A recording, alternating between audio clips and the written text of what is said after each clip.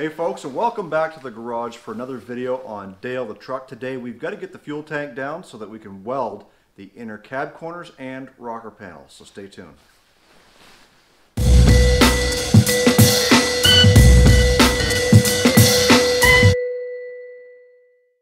So before we jump right into this video, I've got a word from my buddy Robbie over at United by Trucks.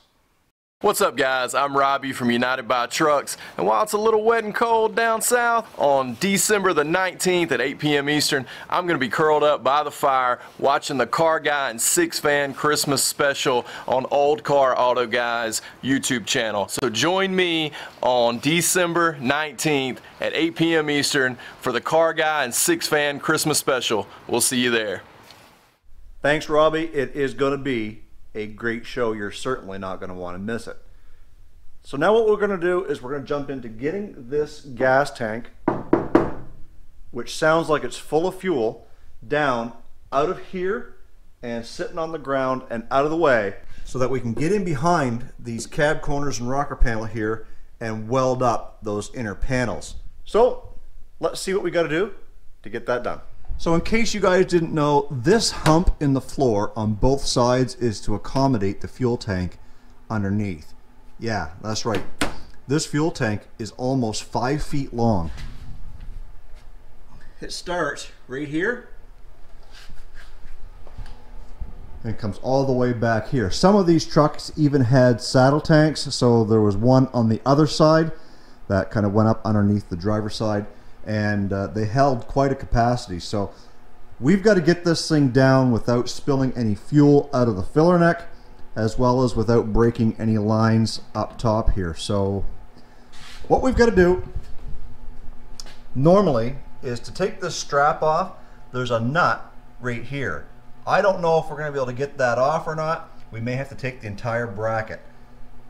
Up underneath the other side, it's a little bit different because there's a bigger hole right here to get a socket in there and loosen up that strap. So we'll start with the easy thing first and that's to see if that uh, strap bolt is uh, and nut is going to free up from each other.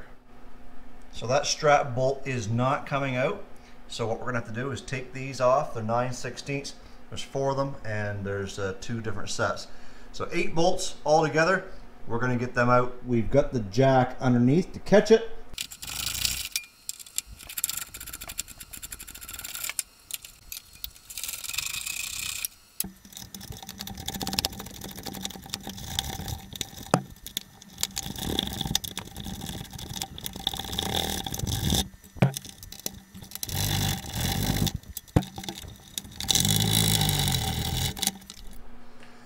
All right, so now that we got all eight of those bolts out, all we've got to do is disconnect the uh, supply line and the uh, gauge, and we should be all set to just kind of lower this down.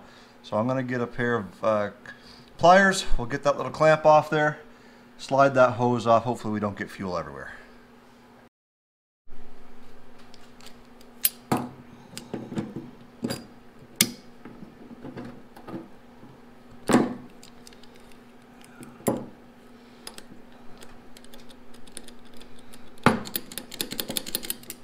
That's going to come out of there with no problem, but we don't want it to be gassy. So, let's just see what happens if I give her a little tug. That's not too bad. Find a spot for that.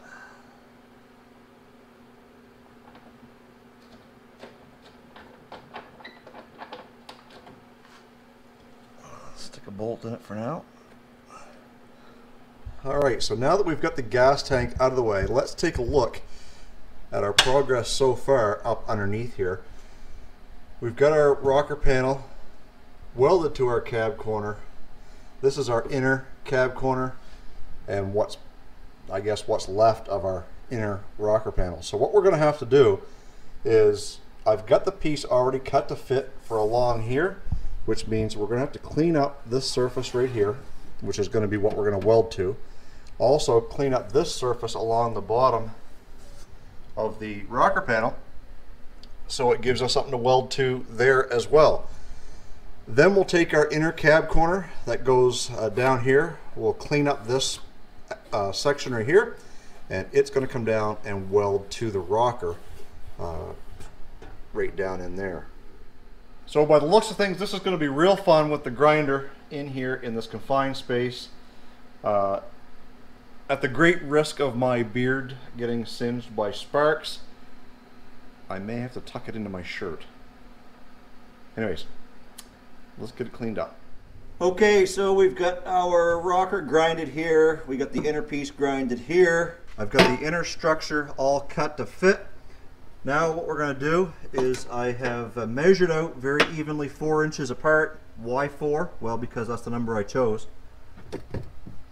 And I took a uh, punch awl and the hammer and I kind of just punched in where the holes are going to go because what we're going to do when we get in there is we are going to plug weld this into place rather than doing trying to get a hole great long weld.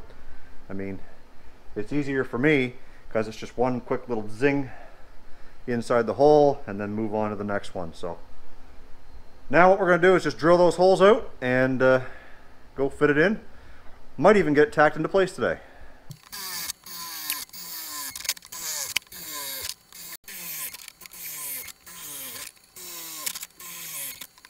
So this is where it's going to get fun. Me laying on my back underneath the truck, risking my beard, and this wonderful Snydertron 3000 t-shirt from all the sparks that are going to happen when I weld. Sorry, Josh. Anyways, sometimes you got to make sacrifices. All right.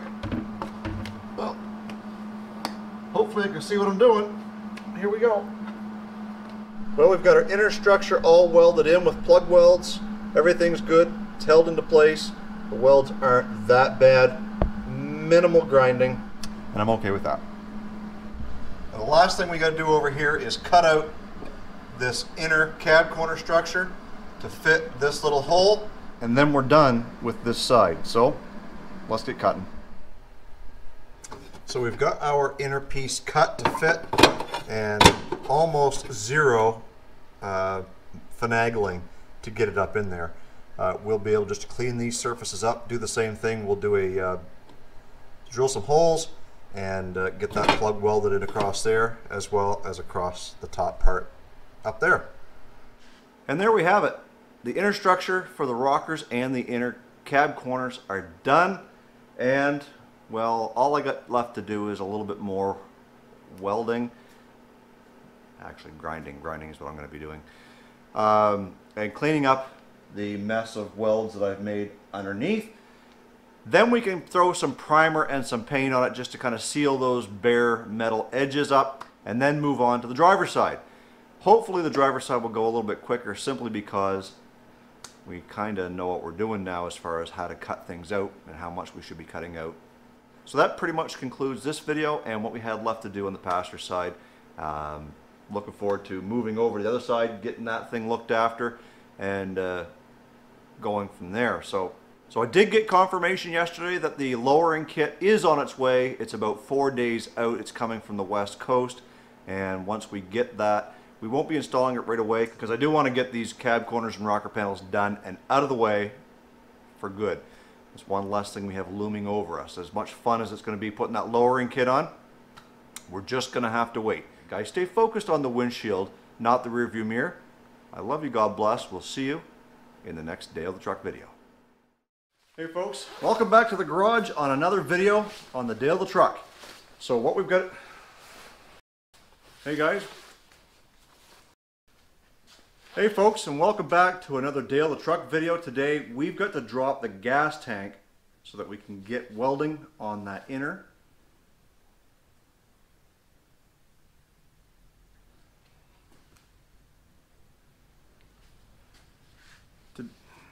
Today we're dropping the gas tank on Project Dale. Oh my gosh. Hey folks, welcome back to the garage. Mm. Hey folks, welcome back to the shop here. We're Come on, do I need to write this stuff down? So before we dive into this video, so before we